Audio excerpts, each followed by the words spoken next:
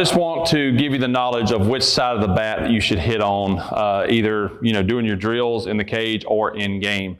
So with uh, European Beech, uh, you have an edge grain and a face grain. Here I have a black bat.